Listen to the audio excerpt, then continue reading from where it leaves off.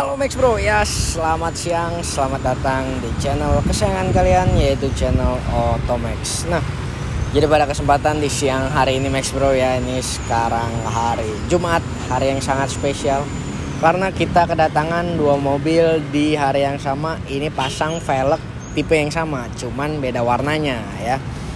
Kita pasangin velgnya juga bukan kaleng-kaleng, tentunya original kita pasang roti foam ya yang satu yang di Foxy pasangnya warna matte gun metal. Yang di Skiroko R pasang yang warna white-nya warna putih ya. Keren banget mobilnya juga udah putih bening kita pasangin velg warna putih lagi otomatis kelihatannya tambah luxury tambah elegan. Pokoknya kalian kalau mau ngeliat fitment velgnya lebih lanjut ya jangan ke mana-mana tonton terus video ini sampai akhir karena fitmentnya ada di akhir Max Bro oke? okay? Gue Vincent Bro, selamat datang di channel Otomax.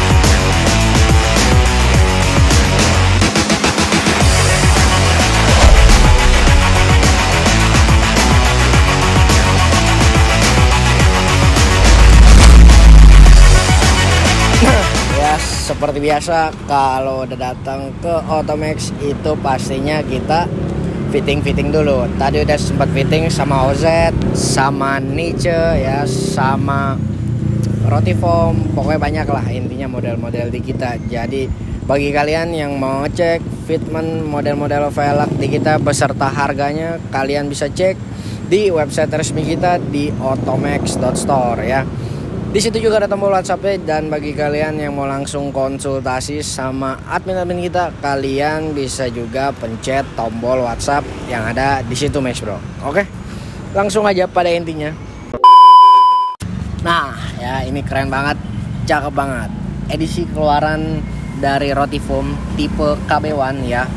43 ini ada tipenya karena ini sejarahnya dulu ada bekas dipakai pembalap Max Bro ya. Pembalap rally kalau nggak salah. Nah pembalap itu nomornya 43 pakai velg ini. Ceritanya seperti itu ulasannya.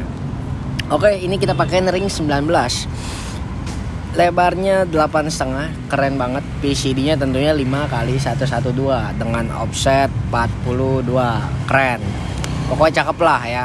Untuk PCD nya sama kayak Mercy di Skiroko ini ya udah keren udah putih bening begini pas jadinya rata body. Dan ini juga kayaknya pernya udah di custom ya jadinya pas rata masuk dua jari gua masuk. Tuh pas di dua jari gua oke? Okay?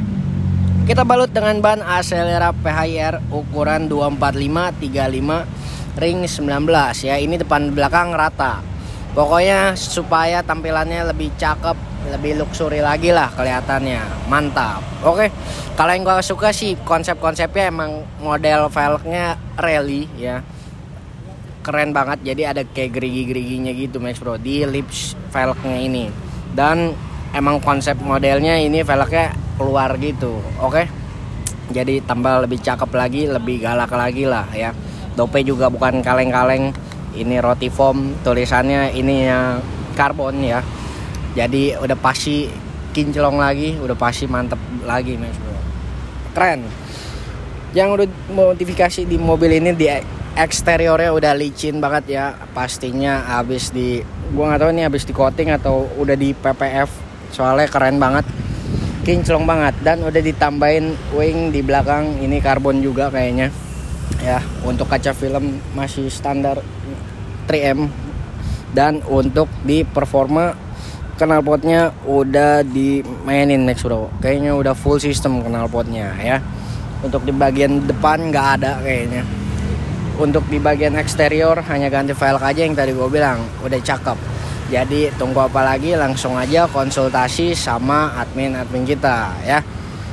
Mungkin cukup sekian videonya sampai di sini aja. Jadi kalau kalian mau ngelihat video fitmentnya dari berbagai angel kalian bisa ngelihat di video kita di akhir ya Jadi jika kalian suka video ini, kalian boleh like video ini. Jika kalian gak suka, kalian dislike, terserah kalian. Dan jika kalian ada saran nih, mau modifikasi apa lagi di Skiroko R ini, kalian boleh tulis di kolom komentar. Dan jika kalian butuh referensi-referensi lebih banyak masalah modifikasi mobil, kalian boleh subscribe channel ini dan nyalain lonceng notifikasinya supaya nggak ketinggalan video-video terbaru dari kita Max Bro. Oke, gue Vincent Max Bro pamit undur diri. Terima kasih.